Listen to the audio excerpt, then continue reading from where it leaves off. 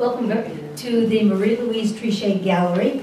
This is hard to believe, but it is our 21st year as a, having a gallery here at Wisdom House.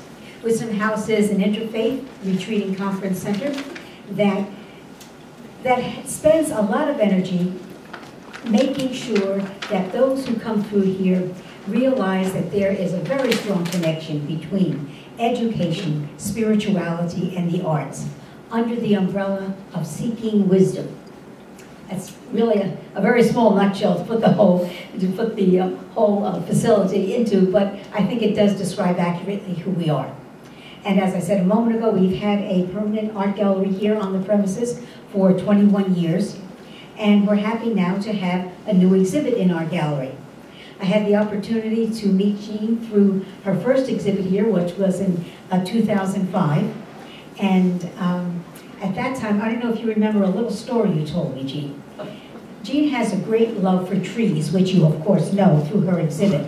And Jean was telling me a short story about meeting a former, I think it was a former classmate of yours, and you were catching up on an X number of years. And uh, so the classmate said to Jean, well, what are you doing now? And Jean said, well, I'm, you know, working with trees. And your friend said to you, still trees? well, you know, we can't just say that still trees when we're talking about the environment because there is always so much more to be, uh, of a depth to really be, be uh, mined in order to really be able to relate to the earth. So I just remember that story so closely, so that when Jean sent us her uh, biography earlier this year, she said, she said, my journey to becoming an eco-artist began when I was a small child, building sculpture from wood scraps in her father's carpentry workshop. And now she continues her work with art as an art educator and as also as an active artist uh, in working in what she calls her own tree house on her, uh, on her own property, which her father helped build.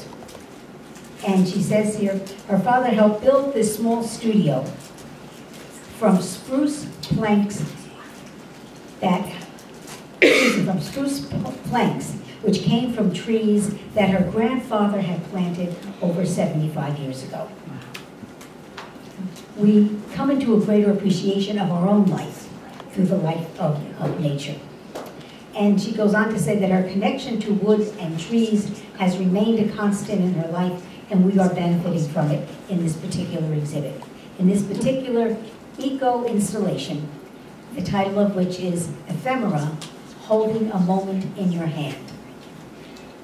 Last night I wrote to a friend encouraging her to invite her friends to come to the exhibit today. And when I wrote to her, I thought of a description of this exhibit that I'd like to leave you with today. And that is, Jean, I told you to come because this exhibit is a bow to nature. So we bow to you in presenting this to us, and I'm so happy to present to you Jean Linville.